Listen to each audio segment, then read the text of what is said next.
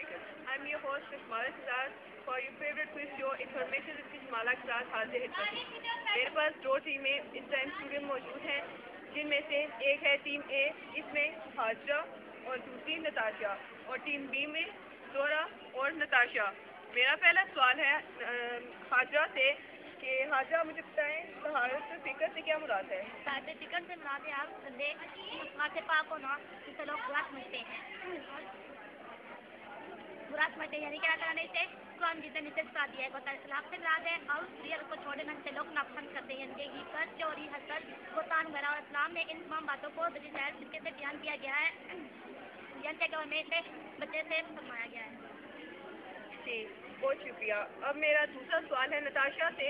नताशा मुझे बताए दहाते जिसम से क्या मुराद है? दहाते जिसम दहाते जिसम से मुराद है, यानी सफ़ाई और बगी दहाते जिसम जहाँ इस्लाम में इंसान और हैवान में फ़र्क ज़ाहिर होता है, और दहाते जिसम से मुराद ये भी है कि इंसान ने अल्लाह ताला ने हर अकिल बारिक में नमाज़ और इबादत का फ़र्क कर दी गई है, और दहाते जिसम से मुराद, यानी अगर वज़ू के अरकान पर रोशन डाली जाए तो मालूम होगा कि किस कदर छोटी से छोटी चीज़ से भी वज़ू टूट जाता है, और पानी न मिलने की सूरत में तमीनम करने की भी इजाज़त है। इस तरह इंसान जो है इतमान हो जाता है कि वो साफ़ सुथरा है और वो अच्छे तरीके से इबादत करता है। जी बहुत शुक्रिया नताशा आपका।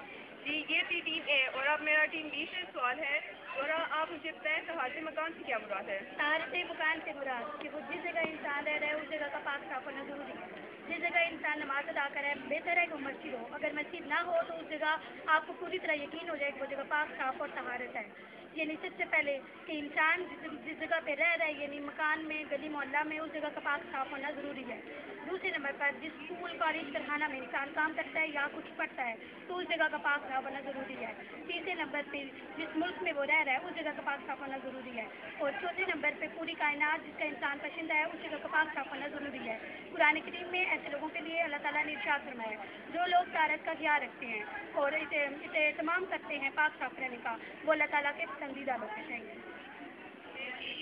बहुत शुक्रिया आपका। जी ताकि आप मुझे बताएँ तहार से लिबास से क्या मुराद है? तहार से लिबास से मुराद के लिबास का पाक साफ़ होना और अल्लाह ताला का इरादा है कि अपने कपड़ों को पाक रख। और जिस नमाज़ अदा करते वक्त जहाँ बावजूद होना ज़रूरी है वहाँ पर लिबास का पाक साफ़ होना भी ज़रूरी है।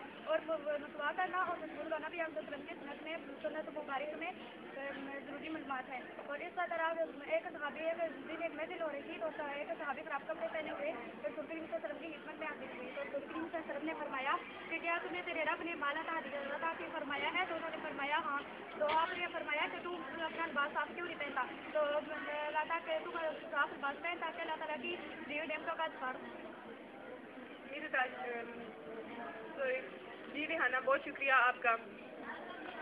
जी नाजरीन, उम्मीद करती हूँ आपको हमारा ये शो पसंद आया होगा।